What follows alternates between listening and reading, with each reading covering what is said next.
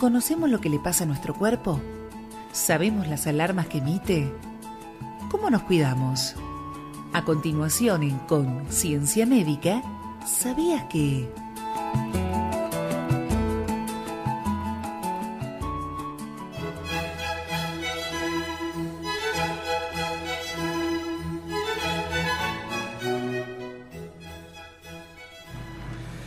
Bueno, estamos escuchando Vivaldi, ¿eh? La, la primavera. ¿eh? ¿Y por qué? ¿Sabías qué pasa en la primavera? ¿Qué pasa en la Llega primavera? el amor. Los florcitas, los pajaritos, todo muy lindo, pero llegan los alérgenos también. Sí. Pero primero, digamos, expliquemos un poco qué es la ¿Qué primavera es la en definitiva. Es una estación de las cuatro del año, ¿verdad? O sea, se divide en cuatro, que varía de acuerdo al hemisferio sur o norte en forma inversa. Y que, este, ¿qué significa primavera? Prima proviene de primer y vera, verdor, ¿no? Se inicia después de el raleado de los árboles, viene la florcita, la- de vuelta el verde. ¿eh? Eh, y bueno, pero esto también tiene un patrón astronómico, ¿no? ¿verdad? En realidad se dice de que ya saliendo un poco de lo de lo idílico, diríamos, y poniéndolo un poco en lo, en lo astronómico, es un momento donde se habla del equinoccio de primavera. que ¿Qué es el equinoccio? Es cuando el Sol está perpendicular al ecuador. ¿eh? Es decir, está el ecuador de la Tierra y el Sol está en un momento exactamente perpendicular en el cenit. Es decir, ahí el que está en el ecuador puede ver el Sol perfectamente en el cenit, que es el extremo del firmamento arriba. Bueno, ese es el punto. Por eso que depende en qué hora cae la primavera y no a veces tan clásico el 21 de septiembre. Este año fue el 22. 22 de septiembre a las eh, 17.45. Sí. Claro que ese era el momento justo que se producía esto. El equinoccio. Así que ahí oficialmente... Y que uno puede decir que la duración del, del ciclo día y noche en el hemisferio sur es igual al ciclo día-noche del hemisferio norte en ese momento. Solamente que en el hemisferio norte empieza el otoño. Claro. Nosotros empezamos la primavera. Bien, bien. Y esto pasa en otra época del año, este mismo fenómeno. En el otoño. Exactamente. En otoño. En el Por eso otoño. que justo se da, Bien. se da el otoño hemisferio sur o norte al inverso. Exacto. Entonces el equinoccio de primavera ya sabes de qué se trata. Bueno, a veces se escucha qué es el equinoccio, pero no sabemos qué. Bueno, es esto el equinoccio. Había un disco de Jean-Michel Jarre, se llamaba Equinoccio. ¿Ah, sí? ¿O cantás? Eh, Cantar un poquito. No, no, pues todo musical. Eh. Y bueno, y dijimos que viene el verdor, viene la floración, vienen las mariposas, vienen los pájaros, las aves que migraron para ir en invierno a otro lado, vienen en primavera para empezar a estar en el verano y en la época más calurosa. Animales que estaban por ahí recluidos en cuevas o en distintos lugares empiezan a salir a la superficie porque empieza a hacer calor. Y esto trae un sinnúmero de problemas que ya los vamos a hablar ahora en la próxima media hora, que son todas las sustancias Alergógenas. alergógenas, Alergógenas. ¿eh? que pueden producir alergias. Traemos oficialmente a un alergista. Yo les podría hablar horas de alergia, porque yo tengo rinitis alérgica. Así que esta es una época Embromada. complicadita para los que son alérgicos. Pero vamos a dejar el especial.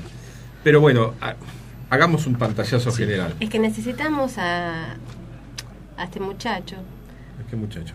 ¿Cómo es? Al doctor Rodríguez. Al Al doctor doctor- Rodríguez, doctor le, mandamos, le mandamos un abrazo a, a- a Nico. No, eh, ¿qué síntomas dan las alergias en general? Múltiples. O sea, eh, las que más vamos a ver ahora son las, las alergias respiratorias.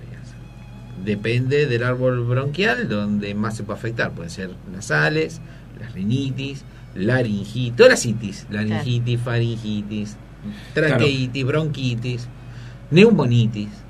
Todo el árbol respiratorio. itis, es inflamación. Eh, Por eso son todas las itis. Y depende el- la altura de la alteración. Bueno, ¿y, qué se, ¿Y por qué se da? Porque el organismo hace una reacción explosiva ante algo que lo agrede. Lo toma como algo exógeno, algo de afuera que no lo reconoce.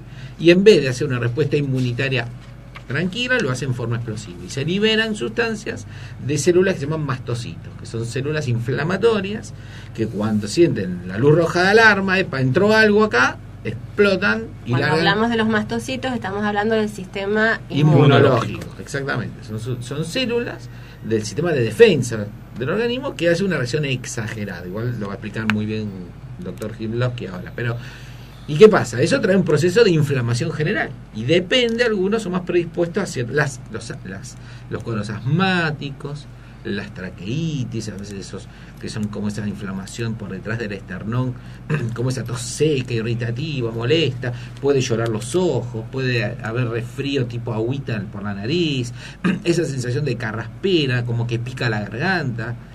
Y en cuadros mucho más severos pueden haber hasta edemas de glotis, puede haber obstrucciones de la vía respiratoria grande. Es decir, hay toda una gama de severidad y que bueno, después vamos a hablar Ahora de lo vamos a se hablar. y Ahora, todo, ¿no? pero otra pregunta, o sea, uno dice, ya entramos en la primavera, ya empieza a guardar en el placar todos los abrigos, toda la, la ropa de invierno y empieza a sacar la ropa de verano. Mm. Pero todavía es una época que bastante inestable todavía No con las estable, temperaturas. climáticamente. Con lo cual uno también se tiene que cuidar de eso, de que por ahí sale a la mañana hace mucho frío, después a la tarde hace calor, vuelve a la casa a la noche y si no tiene un abrigo también tiene frío. ¿no? Es una época que los meteorólogos dicen de una an- gran amplitud térmica, ¿no? De golpe a la mañana hace menos de 10 grados y ahora está haciendo, ¿cuánto? 19. 19, 20, 22 grados, que es agradable.